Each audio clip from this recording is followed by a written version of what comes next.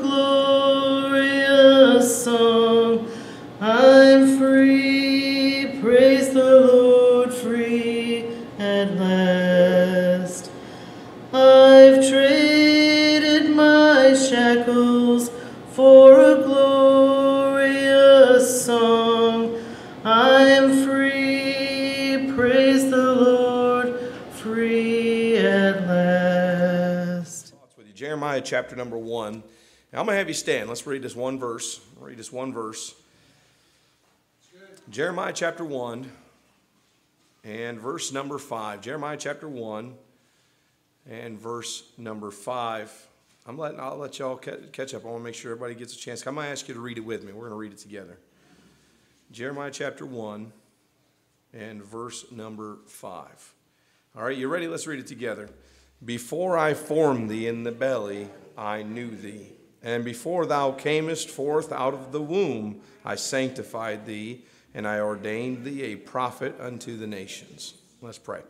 Heavenly Father, we thank you so much for, for what, the life that we get to celebrate this week and how amazing it is. And just, just uh, I would have never thought, honestly, and, and maybe a lack of faith on my part, but I never thought uh, that uh, we would ever see this overturned. Certainly prayed for it, uh, certainly voted um, in favor of, of, those that would hopefully one day overturn it, but uh, never honestly thought that it would ever be turned, turned over uh, with the wickedness in our country. Um, but what a great day that we get to celebrate, and, and today, this afternoon service, help it to be a, an encouragement to us, help us to respond correctly to this victory. And uh, Father, we just want to thank you so much for that. I am uh, excited to see what could be, what, what kind of revival could, could take place in our country with, um, with uh, all the, the lives that will be saved. We love you. We thank you. We ask all these things in Jesus' name. Amen. Amen. Oh, an eventful week. You may be seated. Thank, thank the Lord for this week. Amen. We talked about Vacation Bible School this week and being able to minister to the youth in our community. That wasn't just an exciting week. Every Vacation Bible School, there's so much work involved uh, in it, but it is always so fun. You never hear workers grumble and complain, um, even though I know they're toiling with hard work or they've worked all day and, and, and you know tacking it on. I, I don't think Brother Jonathan and Brother Caleb complained much because they were too tired to. Um, they may have thought about it. Maybe they complained and murmured in their hearts a little bit, but they couldn't utter the words for it uh, because they were so tired. But and Brother Caleb drove all the way to Chicago, got stuck in like a two and a half hour traffic jam, uh, and then drove back. And then uh, one day he had to go down to Ohio, Columbus, Ohio, and back. And uh, that tire, I mean, driving whips you. I mean, that whips you being on the road for a long time, and still came back and And uh, I had to wake him up out of the back pew to get on the bus to go. But uh, amen, what a blessing. So thankful for this week. What, a, what an opportunity. What an honor. What a privilege the parents in our community uh, gave us by allowing us to minister to their, to their young people, to their children uh, over this last week. I, heard, I sure hope that we always, always uh, uh, take that as an honor. I hope that we never. I under, there's a lot of churches that are very quick to dismiss the bus ministry and uh, and sell their buses, and it cost it all costs money. I put diesel in that tank today, and it was expensive. Two hundred dollars barely got us a half a tank of fuel, and um, and so I just and that was it was at a quarter tank, so two hundred dollars didn't get us much, you know. And the lady at the counter, the lady at the cash register was, "Oh, bless your soul." and uh, she was she was uh, I can't believe you're putting all that in there. And I said, you know, I some people they you know they they give a they have a broken heart for the truck drivers, but the truck drivers just pass that expense on. truck drivers aren't footing that extra gas out of their own pocket. They pass that on to the uh, down down the line, and we end up paying for that, and that's rightfully so. That's how economics works, and we understand that. It's not a big deal. Uh, but in the bus ministry, it, it is it is a purely giving ministry. Uh, we, when we run out to get these kids, we're not getting any money in return, and we don't want money in return. That's not what it's for. That's not what we're doing it. We're doing it because uh, we might save some. We might see some saved, I guess is the way to word that. That's the only reason we're doing it. Amen. I, we're doing it to encourage young people, and if we could just see one of them get born again and along the way and serve serve uh, God with their life, then it's worth every last ounce of diesel f- uh, fuel that's put in those buses. I believe that because there is no, you can't put a price on a soul. And so, anyway, great week. I hope that we always keep that, take that as a privilege in this church. I hope that we always never look look down on the bus ministry. Those rascal kids may leave uh, stains and stuff on the carpet. Probably no more than the pastor's kids do. But uh, anyway, Brenna, wherever she's at. Um, but you know, it, it's it. You know, they they they cause trouble. Hey, man, they they destroy stuff sometimes. There's a lot of teaching involved. I didn't lose my, I mean, I lost my voice because I was yelling at him. No, I was, I was, yelling with them. I really was. We were having fun. Um, but, you know, it, hopefully we always count it a privilege to serve our community's youth. Amen. I hope that we never let the burden of it uh, hinder us or hurt us. Saw six young people make profession of faith this week. What a blessing. Oh, but something else happened this week that drastically changes the direction of our country. And uh, last Friday on uh, the 24th of June, the Supreme Court overruled Roe versus Wade and Planned Parenthood versus Casey. I'm glad to be able to tell you today that abortion is no longer a protect is no longer protected federally. Many states have laws on the books that automatically go into effect upon that overturning, which will ban uh, the murder of the unborn. And I understand that there's some people that are just vehemently opposed to this. And uh, it's important that we try to educate them and teach them that the Bible, the Bible is pro-life, always. Uh, if you say it's not, it's because you've got some other perversion. My Bible is pro-life, very easily, and that's from the womb to the tomb. Amen. The Bible is pro-life, but it's important that uh, that we are informed on uh, on this so that we can give our answer intelligently. Uh, it's not about just winning. It's not about just being, you know, it's just getting a victory. We ought to know why. We ought to, we ought to understand some scripture. Uh, we ought to be able to give some sort of answer. Uh, we ought to be able to console. I appreciate your, your, your testimony, Sis Miss Deb, that, uh, about that. You know, I, I, I, I, I wish or hope or desire, I don't ever desire anybody to have hurt or lasting hurt, but at the same time, I guess there's part of me that say, I hope that you never not hurt a little bit because it's it, it, that would mean you're numb to it. I think it's I think it's right. I mean, I, God will comfort us, and God will it is forgiven as we ask the Lord to forgive us. Amen. And I, I, hope that you know I do pray for comfort, and, and I'm thankful for that. And I don't I don't think I'd want to be numb to that though. I'd want a little sting there, just to you know that I, that I realize that. Uh, but oh, praise God for His grace and His mercy. And there's a lot of lot of Christian women, just like Miss Deb, uh, that uh, for, for whatever reason they, they've, they've gone through that. And so, um, you know, the ruling actually reinforces our democracy. I think a lot of people are getting all up in arms about this, but this ruling simply puts it back where it should have been to the state and federal legislatures uh, that are a representation of the people. Now, we as states, we have the opportunity to, to vote in people that would, would align with our ideologies, uh, and, and, and the opposed, they have the opportunity to do the same. and uh, and then those that represent us can write laws that that will uh, that will um, do that. They're, um, you know, uh, federally as well. Uh, the federal legislature can also write laws into uh, write laws into power or write laws into place that um, that will do the same as their representation of the nation as a whole.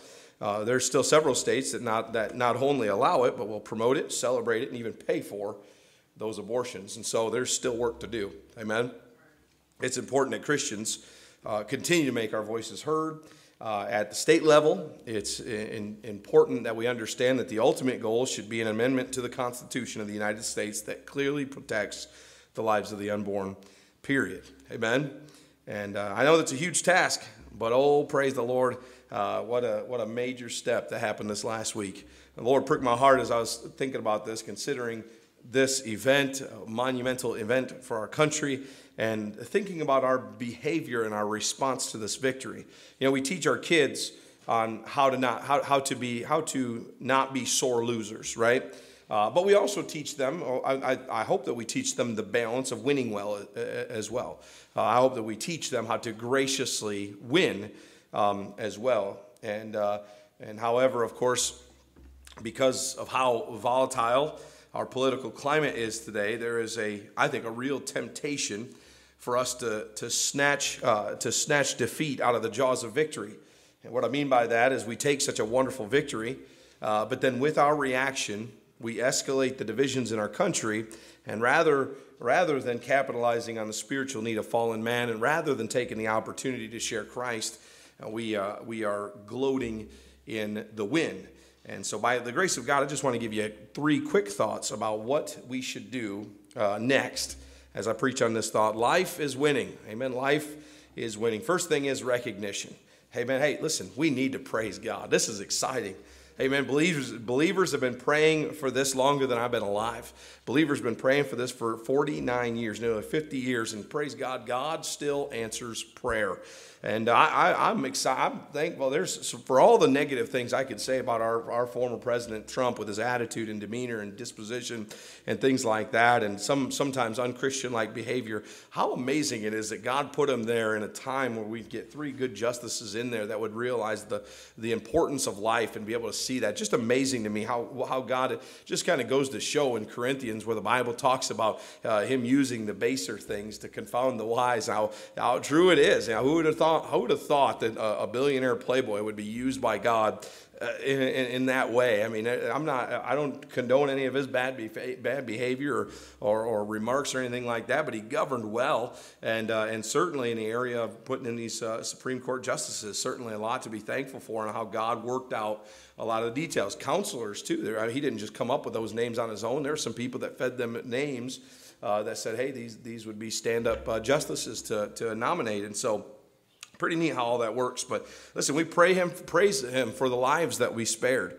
Uh, not all states uh, have, uh, have abolished it. No, not all states will have laws against it. Uh, but the states that, our Michigan is one of them, states that will instantaneously have a law that, that prohibits abortion, uh, period. And so uh, we know that this is not an abolishment of abortion, uh, but many lives I do will, believe will be spared as a result of this. We praise him for the wisdom, we praise him for the courage that he gave to the justices. I don't know what their spiritual life is. I don't know if they're Christian. I don't know if they're born again.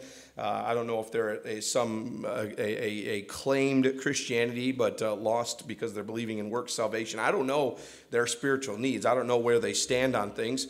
Uh, but even while their lives had been threatened, they not only had discernment of what the Constitution says, because really this is a simple constitutional matter. This had absolutely this was a bad this was this was bad opinion when it was wrote back 49 years ago, and it should have been overturned a long time ago. The Constitution, the federal government had absolutely no no no grounds for this anyway, and so they had enough discernment constitutionally.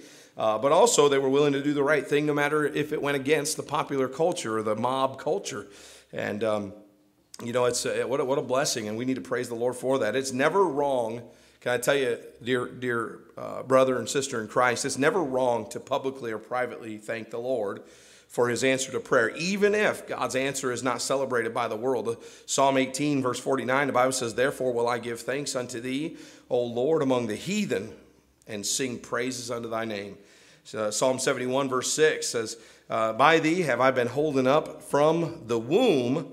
Thou art he that took me out of my mother's bowels. By my praise shall be continually of thee. Amen. And I thought that was a great mixture of, of both the why we're praising the Lord today and the actual instance of praise. And in that same chapter, verse 14 he says, But I will hope continually and will yet praise thee more and more. Amen. And I hope that we're, we're, we're praising God more and more. We have, uh, we have so many reasons to praise today. And we had it the week before, and if it wouldn't have been favorable this week, we still would have had great reason to praise. Oh, but dear brother and sister, we have great reason to praise this week in this, in this, uh, in this overturning. That's a blessing. I'm praising the Lord for this news, and I'll keep on praising Him. I'll keep on rejoicing. What an exciting time to be living in. Amen. What an exciting time to be alive and be a Christian and be a believer. And we're about to experience either the rapture or revival. Amen. And both of those those events are going to be a wonderful thing. And so we see uh, not only not only recognition, but also compassion. Amen. That being said, uh, our thanksgiving to God ought, not, ought to never be with the desire to rub a victory in the noses of those with opposing views. Amen. Uh, I think there's there's a lot out there that are on the wrong side of this argument, and simply it is because they just don't know any better. Uh, I, was, I, I, was on the wrong side of this uh, uh, argument coming out of high school uh, because that's what the teachers taught. And I'll just be honest with you, they indoctrinate you in the public school, and, uh, and the teachers, they taught that, that was, this, was, this was right. This was the woman's choice, and she should be able to kill the baby. And, and I, as before I was even saved, as a teenager coming out of the high school, I thought to myself, sure, man, I mean, why would I want to waste my time with a baby? And that was, that was the mentality of the, the, that was the mentality of the school I went to. That was the mentality of many of my teachers. And uh, that was a mentality I adopted until I got born again and realized that was major error and, uh, and needed to be changed. And so I think there's many Christian women, as we've talked about with Ms. Deb, that, that in ignorance or in panic uh, have had abortions and they still grieve when the subject's brought up. And I'm sure most of them uh, are, are, are balancing celebration with regret this week, right? As, as brothers and sisters in Christ, we need to be tactful on how we address this subject because I think there is many grieving women. I think there's, there's a lot of hurt, there's a lot of fear. Uh, because our president and those uh, uh, on the on the left, you're not, you're, we're not in a mainstream Christian church today. Amen. We're an independent Baptist church, and uh, I believe if the Lord leads me to, to say something, no no, no government's going to restrict uh, this pulpit. Amen. Uh, our president, those on the left, they continue to spew out the narrative that the right and that Christians they're evil. Uh, and they're evil attacker, attackers of women's reproductive freedoms. Now, listen, I'm all for your re- reproductive freedoms. Don't do what gets you pregnant. Hey, man, we got kids in here, so I'm just going to keep that clean. Don't do what gets you pregnant. Amen. I, that's all there is to it. Listen, we need to we need to be sure that our answers and our commentary are seasoned with salt and offered in compassion. Amen. We're Christians. Remember that, right? It's not our place to gloat. This this, uh, this Pride Month, uh, I'm not. I, I I'm very careful I'm not proud to be an American. I'm thankful to be an American. I'm not proud to be straight. I'm thankful that God hasn't put, that, that, that my flesh has never steered me in that direction. It's not a battle of the flesh I have to deal with. Amen. I, am I'm, I'm, not, I'm not proud to be a, a believer or a Christian or going to have. I'm thankful for that. Amen. And that's the attitude of the Christian. The Christian have no reason to be proud about anything. Amen. We need to be thankful. We need to be humble. We don't deserve what we have in this country. Amen. And uh, that's the mentality that we ought to have. We don't deserve that. that listen, can I tell you, we don't deserve that, that uh, overruling of, of Roe versus Wade. You know what we deserve? We deserve fire and brimstone being rained down on this country and clean up the wickedness and the nastiness because we're not even close to cleaning up this place. I'm trying not to get too started here. I said I was going to go fast, okay? We're going fast. Listen, remember, brother, Marv, you're outnumbered here, brother. Listen, remember many, many of these, many of these that are that have these opposing views. Listen to this. Many of these that have their, their, these opposing views, they're simply lost in their sin and they're in need of a savior. Amen. You know, I'm not I'm not out to try to win an argument on abortion. I'm out to win their soul to Christ. Amen. I, I, I my, uh, you know, before my mom started serving the Lord, she was on the left side of things, right? 10 years ago. Then I knew, I knew she was in a good church when she, when she told me she was going to, that she wasn't mad at me for vote, voting for Bush again, which you, I guess was, you were right for me voting for Bush. He was kind of a worthless Republican anyway. But anyway, The first time I voted for him, she was mad at me. The second time, she had gotten into church and the Lord was, was growing her, and, and she realized that the, the right side of the aisle, the Christian side of the aisle here, was, was life and liberty, and, and, uh, and God changes souls. God changes lives. God changes minds. Amen. I'm not interested in changing a view, I'm in, interested in seeing their eternity changed by their faith in Jesus Christ as Savior, because once they're saved, once they've accepted Jesus as their Savior, uh, then I believe that we can teach them what the Word of God says. Uh, because this, this matter of life is not a matter of opinion. It's a, it's a very clear biblical principle uh, that God is pro life. It's very clear. There is no way, there is absolutely no way to explain it all out without completely ignoring Scripture or completely changing uh, Scripture, which, which would then be considered a perversion of Scripture, not a version of Scripture. So the Bible says in James chapter 1, verse 5, it says, If anybody lack wisdom, let him ask of God that giveth to all men liberally and upbraideth not, and it shall be given. We need wisdom. Uh, we need discernment. We need wisdom so that when we praise the Lord for the saved lives, we still are able to shine the light of Christ for the lost to see. Amen. And uh, James chapter 3, verse 17 says, But the wisdom that is from above is first pure, then peaceable, gentle, and easy to be entreated, full of mercy and good fruits, without partiality and without hypocrisy. And so that wisdom that we're looking for, we see some, we see some uh, identifying factors of that wisdom, and I think it's very clear uh, in this as we're, as, that, that uh, we need to be compassionate uh, with this wisdom. We need to be very careful. We need to be compassionate. We need to be peaceable, gentle. Uh, if it's if it's uh, if you're getting discernment that's uh, uh contrary to that, then you might want to check your sources of wisdom. Amen. Biblical wisdom is going to come with those indicators. So we, we, we see the recognition. Let's praise the Lord. What a, it is a wonderful thing to rejoice about. We see the compassion. Amen. Listen, we need to we need to remember this ain't about winning personally. Amen. This is about this is about seeing lives saved, uh, and a, bigger picture out there, seeing souls saved. Amen. And thirdly, we need to remember action. Amen. Uh, we got a great we got a great victory We've enjoyed a great victory this week, but we're not done yet.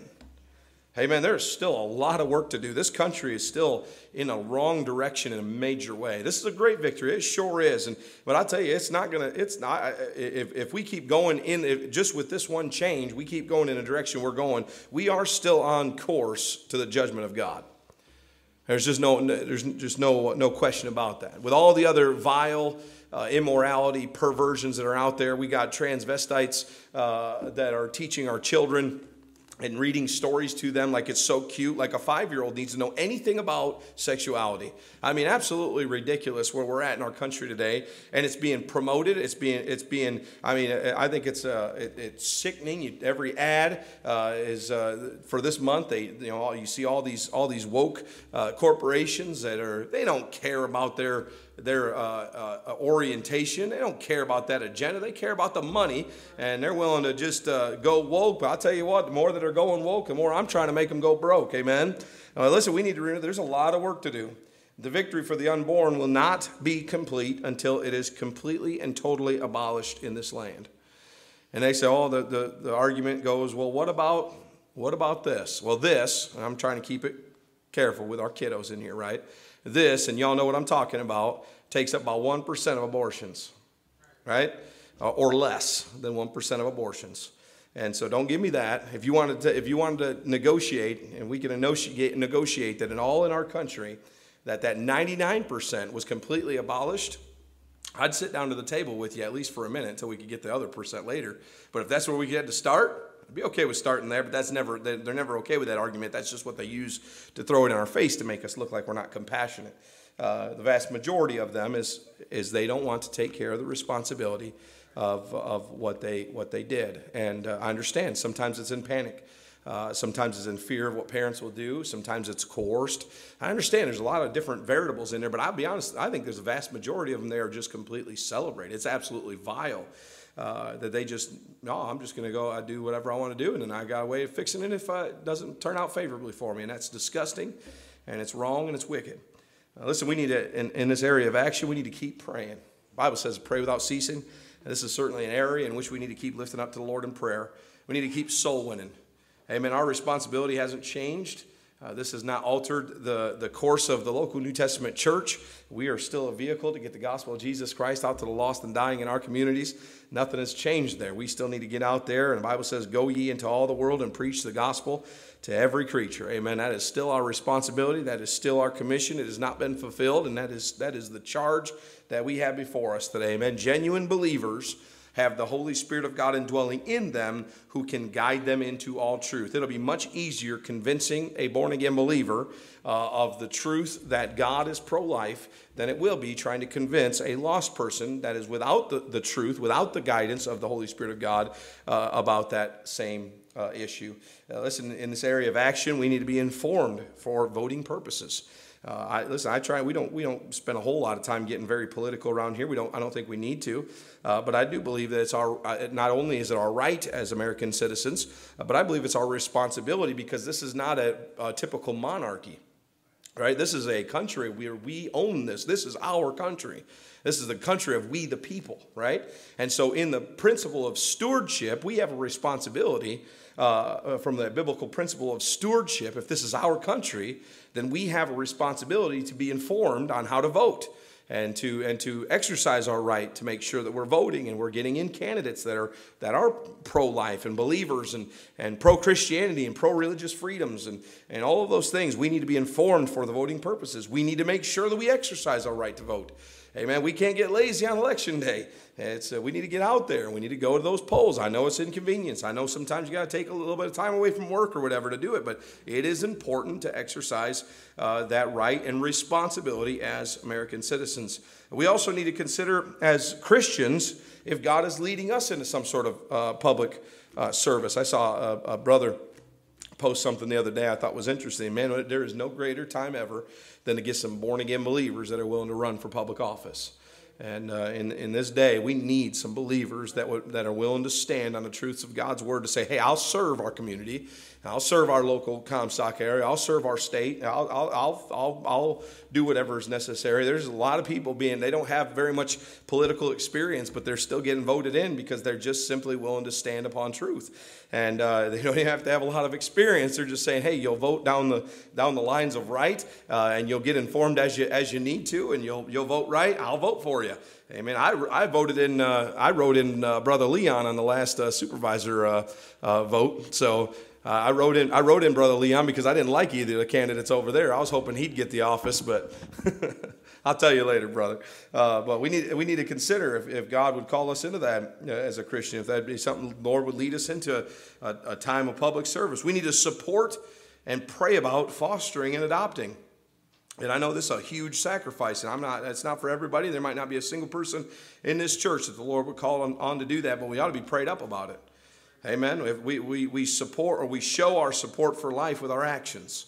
And uh, adoption is one of those ways. Fostering is one of those ways where we show our support uh, for them. At the very least, try to find some good organization and try to be a support to that if we can. If there's if there's a way of doing that without without compromising our, our biblical stand. I personally don't give any money to uh, organizations outside of the local church because I haven't found one worthy of it, I suppose. But uh, I, I, think uh, you know that's something that, that we ought to pray about and make sure that we listen. I, I understand not everyone can foster or adopt, but we should be praying uh, praying for the supply, praying for the resources, and praying if the Lord would have us to do something like that.